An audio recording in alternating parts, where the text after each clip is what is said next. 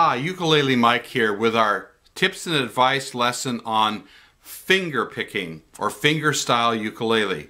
If you've ever wanted to go beyond strumming chords but want to do something a little more complex, a little more interesting perhaps, then fingerstyle is for you. And if you've ever thought it's difficult to do, believe me, it's actually very easy. Okay, so let's get started. First of all, what I'm going to have you do is place your thumb on the fourth string, place your index finger on the second string, place your middle finger on the first string.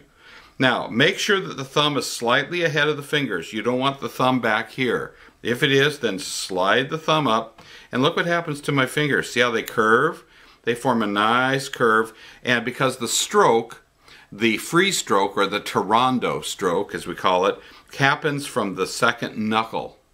And the, the, the, finger has to be free to swivel on that knuckle. Okay, so the thumb has to be ahead of the fingers. And we're going to be using just the thumb, index, and middle finger. Ring finger and little finger are going to be out of, out of, the, out of the operation in this, in this case.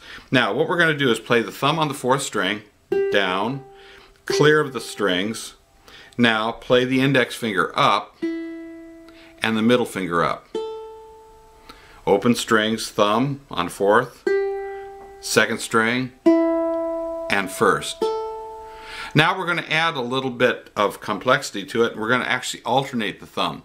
So the thumb is going to play the fourth string. Now it's going to play the third. Now the index finger, plays the second, and middle finger plays the first. So it goes four, three, two, one. And that's the pattern. That's a basic 4-4 pattern, what we call an arpeggio, where we break up the chord in its individual notes. So, for instance, if I take that on open strings, it would sound like this as I speed it up. It's in 4-4 time, 1 and 2 and 3 and 4 and 1 and 2 and 3 and 4 and. Put that to a chord, a C chord. See how easy that is? And it begins to flow once you get the, the hang of it. I'm going to change that to an A minor.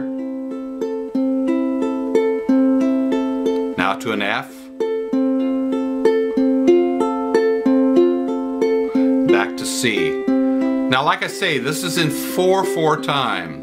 In another lesson we'll cover a 3-4 pattern. Now, Keep in mind, there are hundreds of variations on any of these arpeggios. This is just one of them, but this is a good basic one to get started with.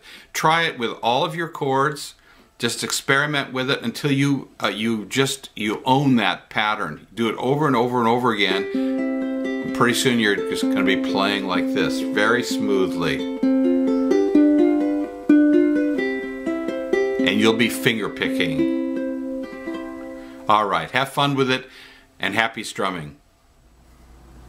Hi, by the way, on this uh, lesson, I'm using an OU6, an Oscar Schmidt OU6 tenor with a wide neck. This is a kind of a, a new hybrid model that they've come out with this past year.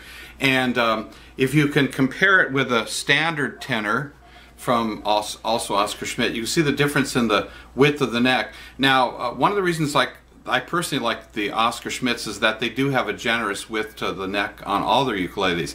But on this OU6 with the wide neck, it's especially especially nice because I I have played guitar as well as ukulele and mandolin all my life, and I've got big fat fingers, and I like to have that space between the strings um, that gives me more of a feel of a guitar neck. So if you're a guitar player, um, this model is it can be really handy for you. If you, I, I have a problem with the little sopranos. My fingers just won't work on it. The other thing too is that when you're doing finger picking, as we did in this lesson, that when you have more distance between the strings for the follow through, particularly if you're doing like a, a rest stroke,